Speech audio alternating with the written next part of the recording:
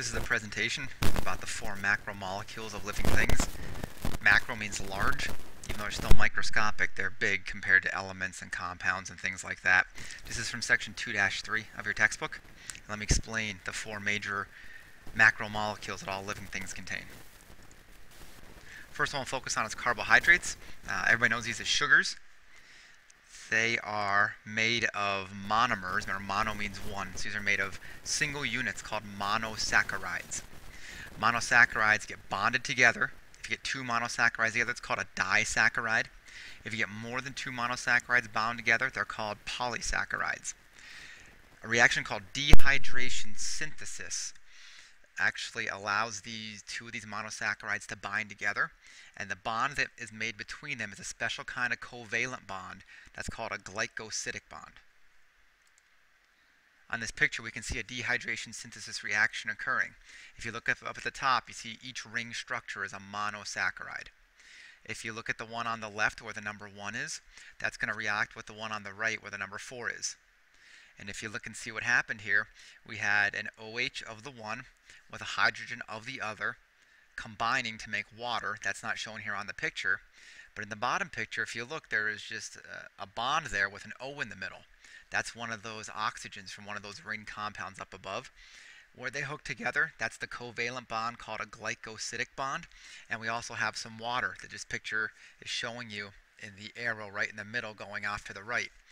Dehydration synthesis is what this is called. Dehydrate means you lose water. You can see that happening in the middle of the picture. Synthesize means to make. So we've made a bond by losing water. That's what dehydration synthesis means. Uh, carbohydrates typically end in the suffix OSE. Sucrose is uh, table sugar. Glucose is our blood sugar. And fructose is the sugar that makes fruits taste so good. What do carbs do for us? Uh, mainly, they store energy, and structurally, they can form different things. The exoskeleton of insects is made of a carbohydrate called chitin. So those are the main functions of carbohydrates.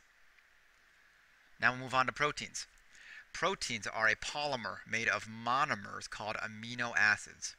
Amino acids are bound together by the same reaction the carbs are called dehydration synthesis we still make a covalent bond, but this time it's called a peptide bond. If you look at this picture here, up top we have an amino acid on the left and an amino acid on the right. In the middle, they have made in red for us the OH and the H. They're going to make the water to dehydrate as this bond is synthesized.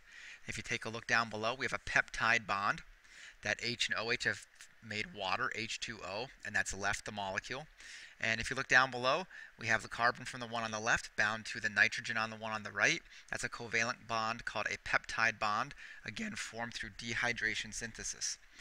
Amino acids are put together in this way to form a polymer called a protein. What do proteins do for us? I always think of proteins like the duct tape of a cell. There are so many things that proteins do for our bodies. They can serve as enzymes. Enzymes speed up chemical reactions. They can help certain materials get into our cell and get out of our cells. We'll take a look at that a little bit later when we study cells. They help to form bones. They're main, main component of our muscles. They help us to fight disease as they form different antibodies. and those are the things that proteins do for us. Lipids. Lipids are one of these macromolecules that are composed of glycerol and three fatty acid chains. they're bound together through three dehydration synthesis reactions, and each of those forms a special kind of covalent bond, but now it's called an ester bond. If you look here, on the left, we have glycerol. It's written in that green ink. On the right, we have three fatty acid chains. If you look in between the two, each fatty acid chain is going to interact with one part of that glycerol molecule, and it's going to do its own dehydration synthesis reaction to help make this lipid molecule. If you look where it's circled, that OH is going to react with the hydrogen of the green glycerol, and that's how water is going to leave this molecule to form a bond.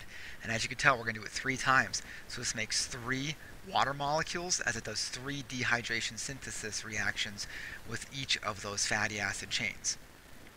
Here's here it's all put together. To the left, now this picture is kind of inverted now. Here our glycerol's on the right and our fatty acid chains are on the left. But if you look, the, the oxygen of each of the, the three oxygens on the glycerol are now bound to each of those fatty acid chains. And we've lost three water molecules to do this. So remember, dehydration, synthesis, and this makes ester bonds.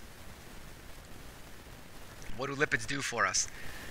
They mainly store energy for cells and for organisms. They can also form waterproof coverings on certain things, like plants' leaves. We have oils on our skin that are lipids that help make us a bit waterproof.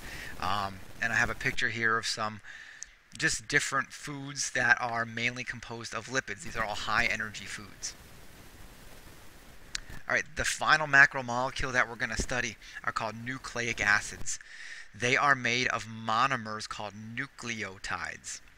Again, nucleotides hook together by doing dehydration synthesis reactions, and the covalent bond that's formed between two nucleotides is called a phosphodiester bond. So each of these macromolecules, they get put together, their monomers, with dehydration synthesis reactions. When two monomers are put together, we uh, call that a covalent bond that binds them but each covalent bond gets a different name depending on the macromolecule you're talking about. For, for nucleic acids, it's called a phosphodiester bond. I'm not going to show you the molecular structures here. We will get into that once we study DNA and RNA in much more detail once we get to genetics. But I do need you to know what's on this, this bubble here. I'm going to zoom in here.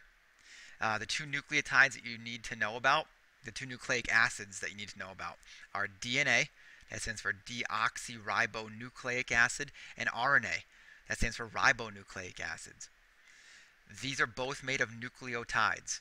And the job of these two, for right now, I just need you to know that DNA and RNA, they function to store genetic information. And that would be the blueprint for an organism. So, your homework. Watch this presentation again if you need to. The chart that you received on Tuesday, use this PowerPoint use this Prezi to help you to uh, fill in the chart and answer the questions that follow. Uh, the document can also be found on Moodle and Community Portal. And we're going to start working with this information next week. So there you have it. Those are the four macromolecules of cells, and obviously then the four macromolecules of life. Um, if you have any questions, just go back and watch this again and use your textbook to help you as well.